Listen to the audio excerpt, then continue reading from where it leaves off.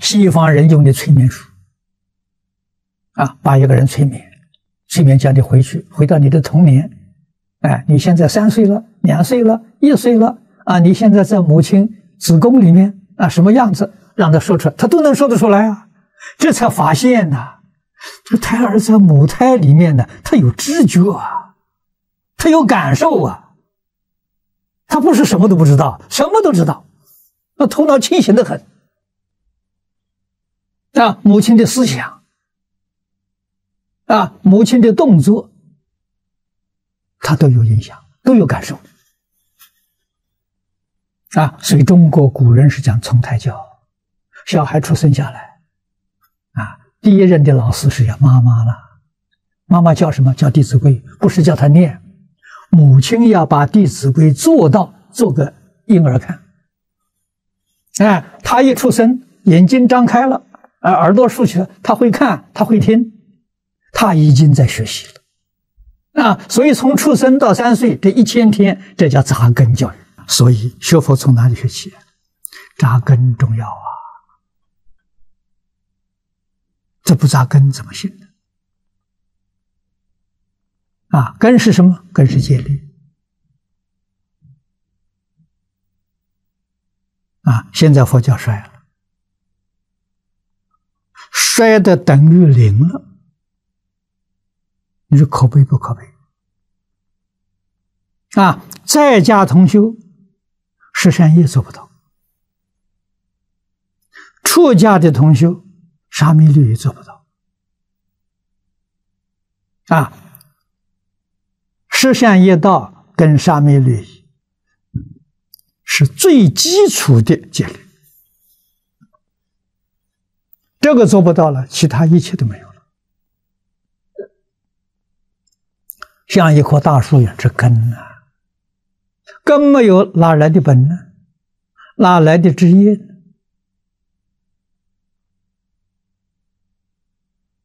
啊，所以我们看到过去啊，历朝历代的修行人。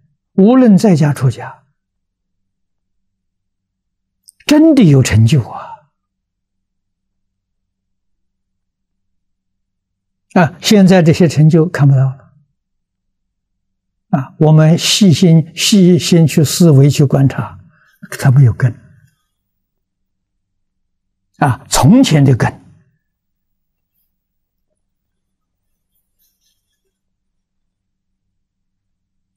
从小扎的啊！你要是真正了解中国传统文化了，你就明白了。啊，这个古老的文明在全世界找不到第二家了。啊，中国人懂得教育。啊，中国几千年的历史没有别的，就是讲教育。啊，教育讲好，这这桩事情做好了，什么事都解决了，就叫了好人嘛。人都说，人人都是好人，啊，什么制度都没关系。再不好的制度，好人还是做出好事。啊，再好的制度，不是好人还是出毛病。啊，中国教育怎么教的？母亲怀孕就教啊，叫胎教啊。这世界上找不到的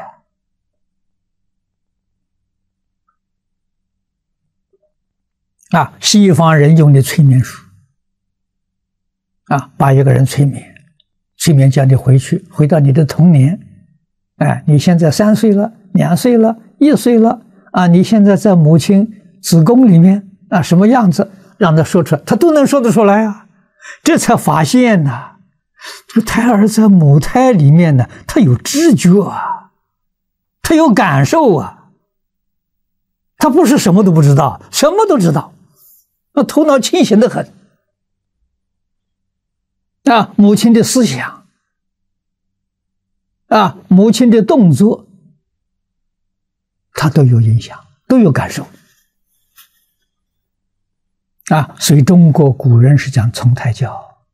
小孩出生下来，啊，第一任的老师是要妈妈了，妈妈叫什么？叫《弟子规》，不是叫他念。母亲要把《弟子规》做到做个婴儿看。哎，他一出生，眼睛张开了，啊，耳朵竖起来，他会看，他会听，他已经在学习了。啊，所以从出生到三岁这一千天，这叫扎根教育。这根是怎么扎下来的？